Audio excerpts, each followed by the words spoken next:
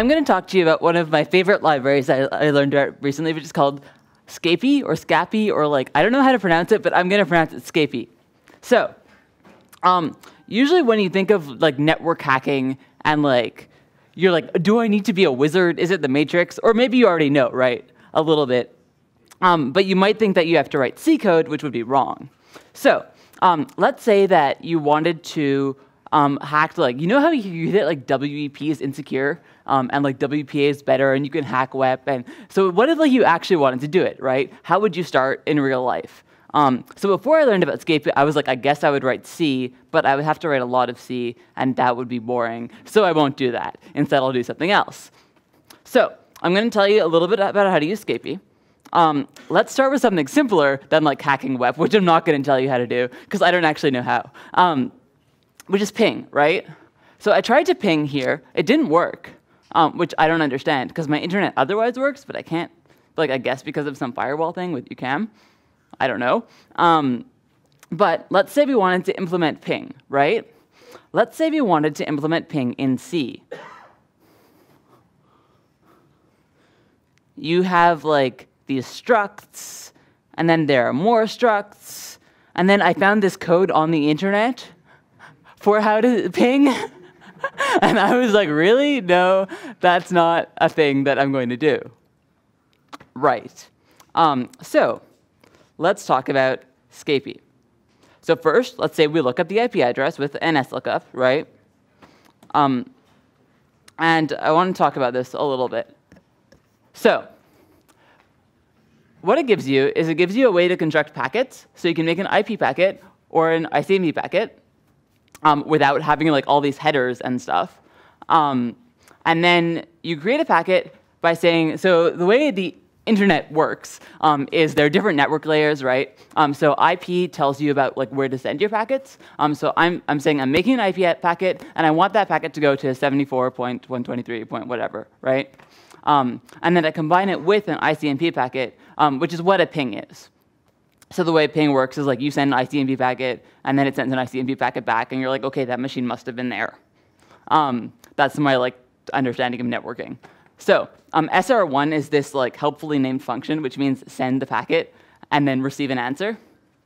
Um, so you see it says like, I received 19 packets, but most of them were not for you. Um, and I got, one of them was an answer. And I, I really like this. So it looks like a mess, um, right? Um, but it's really cool because you can actually like get to see all of the details of the packet, and it's all there. So like no matter what kind of like algorithm, like network algorithm you're trying to write, um, you have all of the information you need. Um, so let's say I cared that like my ICMP packet had code zero, um, which I don't care about because I don't know what that means. But if I did care, then I would know, right? Um, and it'll calculate things like checksums for you. And like there are all these things that the C code was doing, like calculating checksums that you don't have to do because that's boring. Um, and if you did want to do it, then you could. So you can kind of like interact with like networking at the level of detail that you want to, um, which for me currently is like not a lot. So how does traceroute work, right? What traceroute does first is you want to know like there's me and then there's google.com and the question is like what's in the middle, right? Um, so the time to live is you're sending your packet somewhere, right? Let's say Google, and you're like, I don't want you to like end up in an infinite loop forever. Because if you had a lot of packets on the internet that were in an infinite loop forever, then your internet, your tubes would get clogged, right? Like the intertubes would be full of packets. Um, and that would be bad.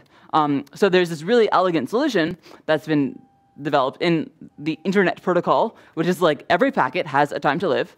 Um, and every time you pass a packet on to your friend, you decrease the time to live by one. Um, so you set the time to live to five, and then it goes somewhere, it's four, and then it's three, and then it's two, and then it's one, and then it's dead. And it sends a message back being like, it didn't work. um, like maybe try again. Um, so um, traceroute may, makes the like observation that if you send someone something with TTL1, it will only get one step. So you'll get a, a, message from a server which is one step away, right? Um, so let me make this a bit smaller for a second. Um, so if I send a UDP packet, um, which is just like some kind of packet, um, with TTL1, and I look at where the reply comes from, it'll come back from my router, which makes sense. So that's super cool. Like I have successfully implemented step one of traceroute in you know like one line of code, um, and we can do better, right? We can actually like run the whole thing. So let's say we only cared about things up to like length six away. Um, so what we do is we make our packet and we keep on increasing the TTL, um, and then we get a reply back, and um, this is kind of a hack because sometimes there are timeouts, and I wanted to pretend that didn't happen because I wanted to do a demo. Oh man, yeah. um, so, and then I, I, run this again here. So I ran that before at home, and here it's like 132.208, which sounds like a UQAM server. Is that, is that true? It's true. it's real. Um, so, so like these, these two things at the end are some kind of server inside UQAM. Um, cool.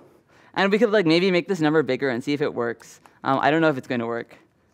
So like you can see that like some of these like aren't working. Um, I'm I'm experiencing timeouts, but that's fine, right? Okay. So I promised you hacking, and that was a lie. So far, right? So far, I told you how to implement traceroute, and like, who thinks that traceroute is like hacking? Like nobody. You maybe. Yeah. Okay. I have one believer. Um, okay, but like maybe we should do. Oh, and you can also look up the host names um, in Python, which is cool if you wanted to do that. Um, and like the cool thing here is that we're done, right? Like we wrote like six lines of code and we've implemented traceroute except for the boring part, um, which is like actually making your code work, right? But we have all of the basics. Um, all right. So I promised you hacking, and we're gonna do like a little bit of hacking. Um, so I want to talk about ARP spoofing, um, which is like kind of the main hacking thing I know. Um, so um, the way you have a router, right? Let's say a Wi-Fi router. Um, and something I learned recently is I always thought that like my router sent me messages by IP addresses, and I was like, I have a MAC address, but like, what's a MAC address? I don't know. Right. So the your router sends you messages like using your MAC address. Um, so it does not say, say, like, I'm sending a message to 192.168.1.144. It sends a message to like 3C colon 97 colon whatever, right? Um, that's how it identifies you. And this also means things like you could have more than one like network card in your computer and it could send messages to both of those separately. Um, so you're identified by MAC address, but there's a question of like, how does it know which IP address corresponds to which MAC address? And the way that works is that you tell it. You're like, hi, I am this IP, this is my MAC address. And it believes you always. Like, that's it. Um, so this creates some problems. This could create a problem, right? Because you could, in particular, lie. Does anybody have a computer open? Can I try to hack you a little bit? It won't hurt. Nothing bad will happen to you. Yeah? Can you run like ifconfig and find out your IP address? Okay, sweet. Um, also, is your internet working right now? Okay, sweet. I hope this works. Otherwise, it'll be embarrassing. Um, let, us see if we can do it. Um, so the way this works is you send an ARP packet where you're like, this is my IP and this is my MAC address. So this is my real MAC address. Um, and I'm going to change this IP address to be Vaughn's IP address. Um, and we'll see if it actually works. What's your IP address? 132. Okay, so I'm going to run this. Why doesn't it work? I forgot to import. What if you reload a web page? Does it work? I really hope it doesn't work. Slow. It's really slow, right? It's waiting because it's sending your packets to me. it's sending your packets to me.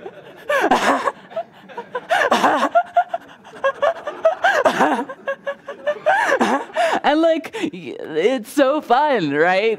Um, and like so this talk is basically over now. Like this is all I know about network hacking, like fundamentally. Um, but you can do this, right? You could learn about a new thing and just implement it in like one line of code. Um, so um, there are more things you could do.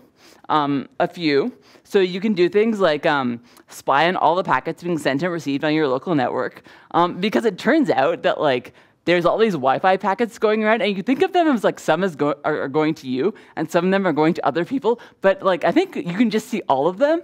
assuming that like you set up like your network card right. So you can just see all the packets, um, and then you can look at them and inspect what's in them and do whatever you want. Um, don't do anything bad. You wouldn't. Um, you're nice, I hope.